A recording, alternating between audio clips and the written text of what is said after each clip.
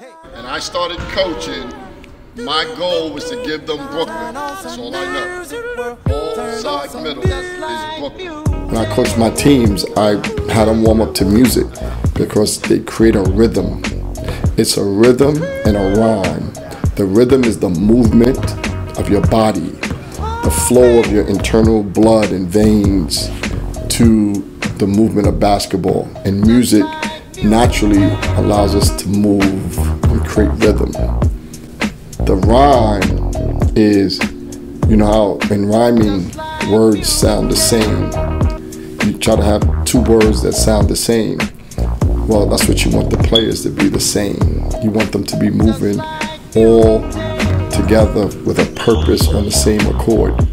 So it's the rhythm and the rhyme. Like everybody don't have their own separate rhythm. When you're a team, everybody's moving together. So that's that's the deep part about basketball.